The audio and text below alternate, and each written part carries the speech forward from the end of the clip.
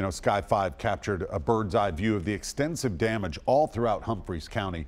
Tonight, News Channel 5's Emily Luxen shows us what people in Waverly face in the days ahead.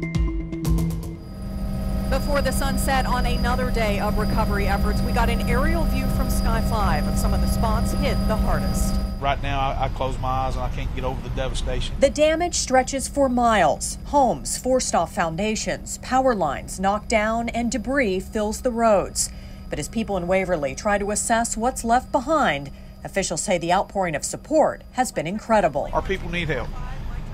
We're going to be overwhelmed for the next probably 30 days at least, overwhelmed. Search and rescue teams scoured the area again for missing people in hopes of reuniting them with loved ones. They've been a little slower going because we're dealing now with debris that we have to move. An 8 p.m. curfew will remain in effect for the coming days in Waverly, and law enforcement officers from across the area will help enforce it. Folks, their houses are vulnerable right now, and their property is vulnerable, and we're going to do our best to make sure nobody messes with it. While the recovery will take time, people across Humphreys County remain hopeful. We're going to hear stories and see things that sometimes I wish I could forget. But to hear the good things, we try to concentrate on those good things. And with the help of city and county leaders and volunteers, everyone hopes better days will be ahead.